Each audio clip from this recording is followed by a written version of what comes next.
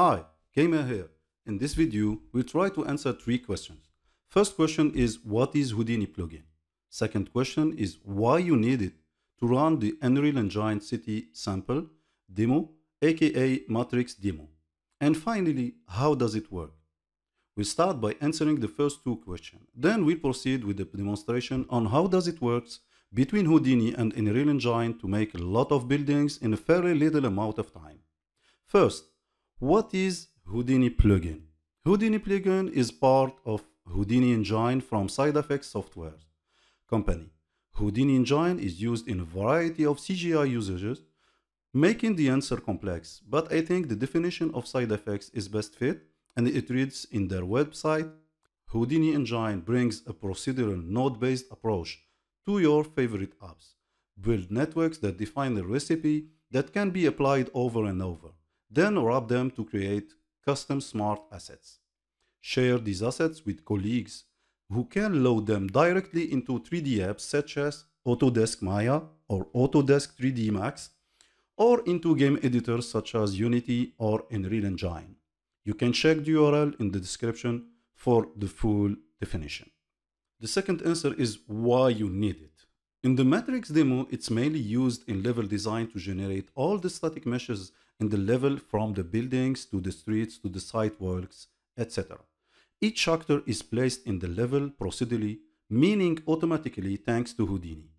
Can you imagine making a whole city with all its aspects by importing or drag and dropping actors to the Unreal Engine level and adjusting each static mesh actor by hand?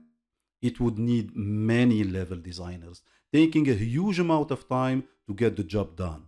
Needless to say, you need a more efficient way to reduce the amount of efforts needed in the production of the city. Hi, if you make it this far in the video, please consider subscribing to the channel to hit the notification button to have alerts about same quality videos on level design like this one. Finally, how does it works?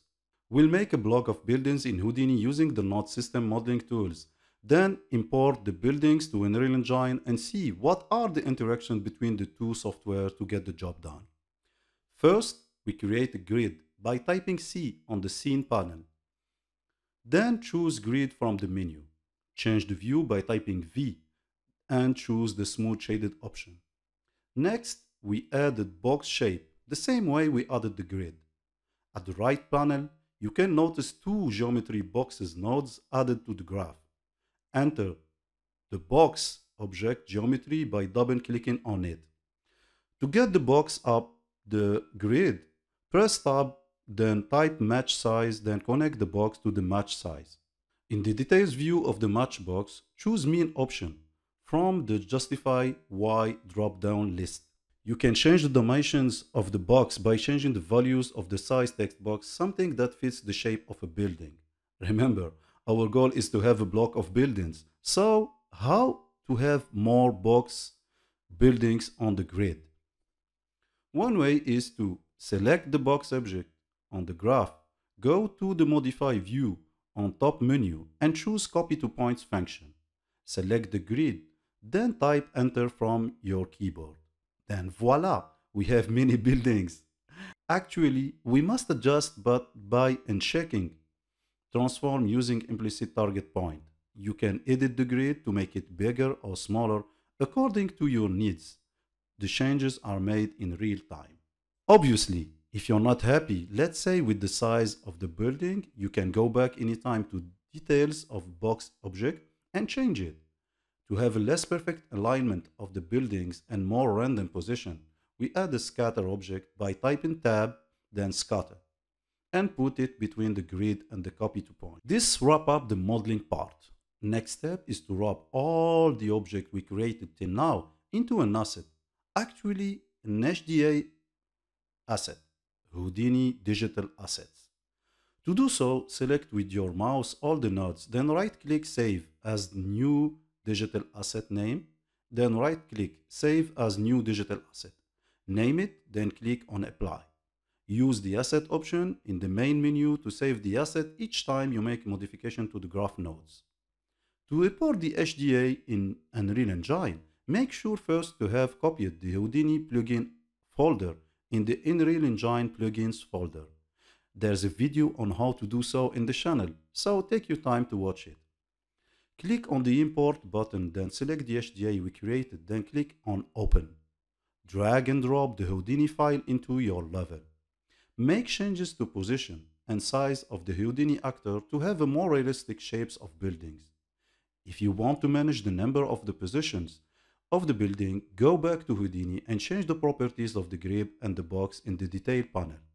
Remember, however, to save the changes by clicking the Houdini Save Asset menu before going back to Unreal Engine and click on the Rebuild button to have the changes updated.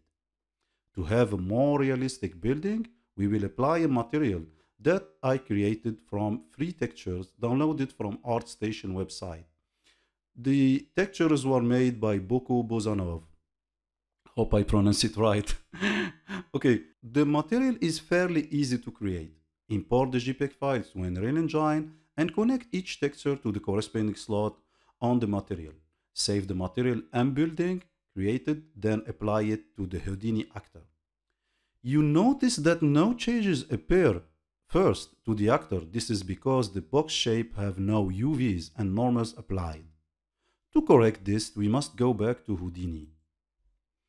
Type tab and add UV unwrap node. Same way, add also a normal node. Place them, place the two, between the box node and the match size node.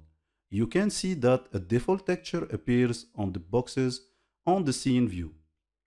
We've made changes to the graph, so we need to save the asset in Houdini and rebuild it in Unreal Engine. And voila, we finally have the material correctly applied to our buildings.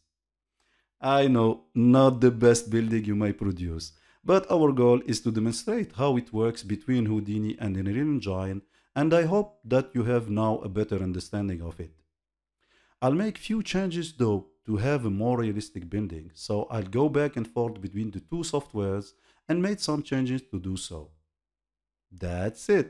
I hope you enjoyed watching this video as I enjoyed making it. I'll probably continue with this project to explain further the concept of Houdini and how you can use this powerful tools. Like, subscribe to the channel so I can keep creating more content and see you soon. Thanks again.